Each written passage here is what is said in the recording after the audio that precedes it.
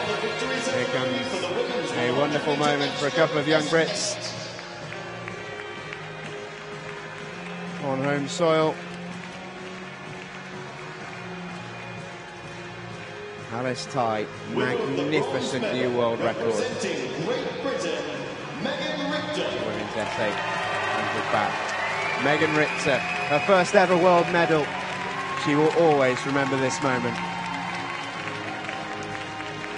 She adds that bronze medal to her European silver in this event from last year in Dublin.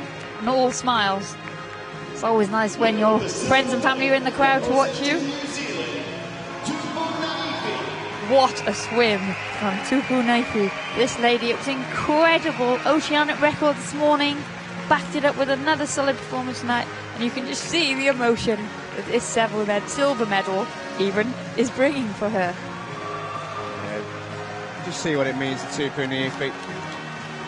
Incredible swim. Back-to-back oceanic records. And Alice Tai, who, in an interview she gave before this competition, was worried she'd be a blubbering mess on the podium, in her words. And she just seems to be taking this all in stride.